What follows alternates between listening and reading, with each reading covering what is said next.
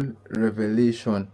All right uh it is one thing to be aware that you are inside a hole and another thing not to be aware that you are inside a hole. There are different things different things all together. For an individual who is aware that something is not right with the way things are going with the way i am living my life with the way things have been something is not right.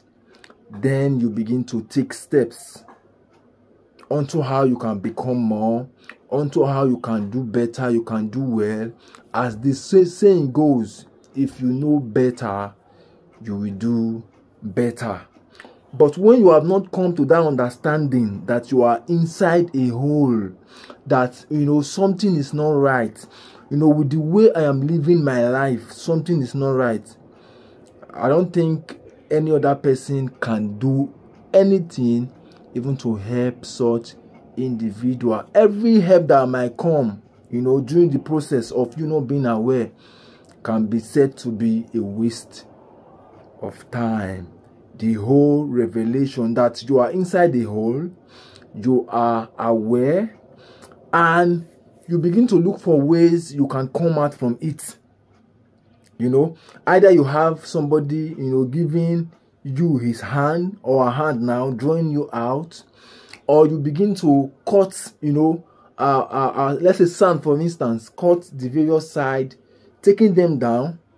As you are taking those sand down you are going up yeah? So you see yourself leaving the hole but unfortunately this is what i notice that most humans who you know who are inside the hole already it will be a mistake an error for one to be inside the hole and all you are doing is that you keep digging digging you know you are digging the hole more and more. Just picture that scenario. You are you are inside the hole. Maybe perhaps you are not aware. And all you do all your action is to worsen the situation by keep digging the hole. You are taking yourself down and down and down. May god help us not to be like that in jesus name.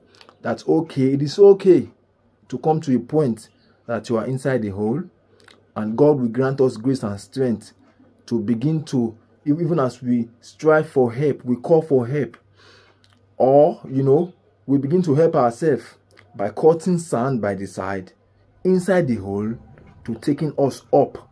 So we'll be out of the hole. As you can't help any individual who is down with his arms to himself.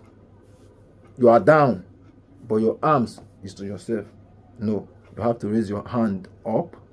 As anybody that can help you can easily see your hand and lift you up